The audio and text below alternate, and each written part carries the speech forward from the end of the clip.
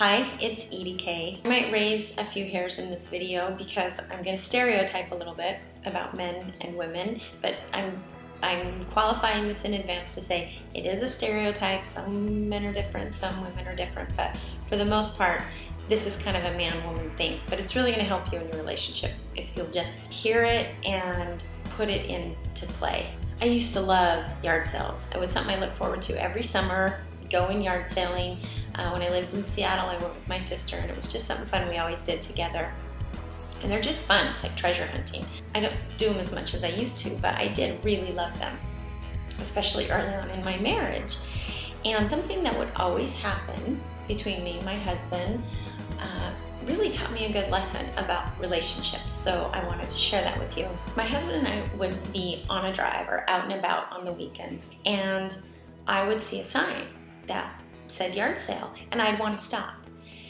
But instead of saying, hey, I want to stop at that yard sale, I would say, oh, yard sale, and point to the sign as we were driving past. And more times than not, he wouldn't stop. Most of the time, pretty much all the time, he wouldn't stop. And I'm thinking in my head, what a jerk. I can't believe I just said I wanted to go to that yard sale and he's not stopping. You know, what how inconsiderate, what a jerk. So I'm creating this whole story in my head of what it means that he's not responding to the fact that I said yard sale. Well, in his mind, he's not a mind reader. In his mind, he heard me say yard sale, pointing one out. So what? Does it mean stop? It doesn't mean I want to stop. He's taken it very literal which men are more literal. They take things very literal.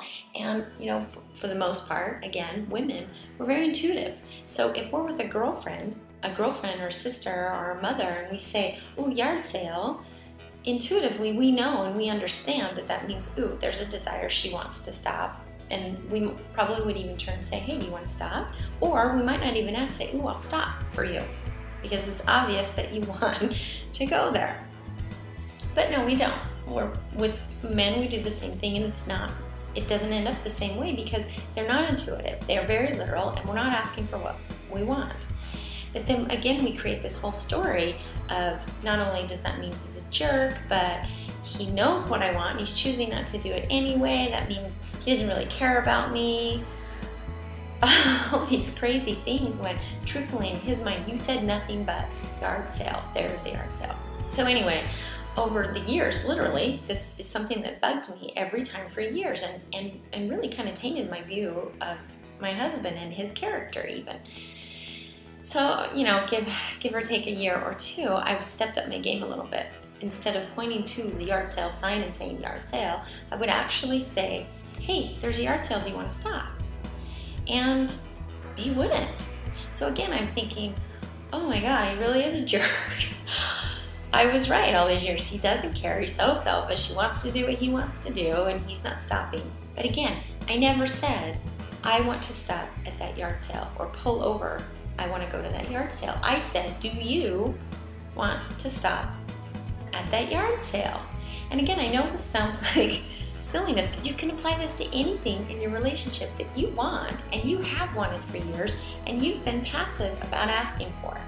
You've been leaving clues and he's not picking up the clues, and you're mad at him and you're thinking he's a jerk when in his mind, he has no idea you want this. He hears you leaving clues and he doesn't know what he's taking those clues as at face value.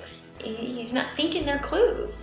So I mean, this is a critical component in relationships that so many people just aren't aware of. I wasn't aware of it either until I came across a relationship program that I had studied and they brought this up and I'm like, oh my gosh, I do that all the time. So I learned that this is kind of inherently in our programming, in the majority of women's programming, to be more passive, to not come right out and say what it is that we want, to leave clues and, and expecting them to read our minds instead of coming right out and saying, This is what I want, and making requests. As soon as we make that shift, they want to make us happy. For the most part, our spouses, our partners, they want us to be happy. They want to do things that make us happy. So as soon as I just changed the language and said exactly what I wanted in terms of the yard sale, he stopped. every single time. I just had to say it. Our partners, they want us to tell them what we want. They want us to tell them what we need. But we have created this rule in our mind that they should intuitively know what we want and need to feel significant, to feel important, um, to feel like we're appreciated. And that we shouldn't have to tell them. And that if we do have to come right out and tell them, that somehow takes away from the gift of them just giving it to us. And we're, and we're playing with two totally different wirings here between men and women, again, for the most part.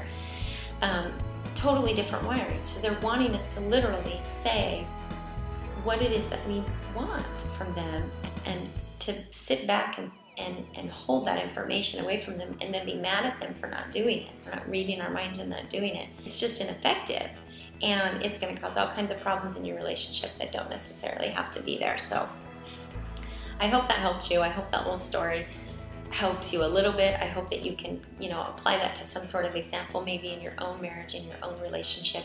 And I hope that you have an awesome rest of the week. Until next time.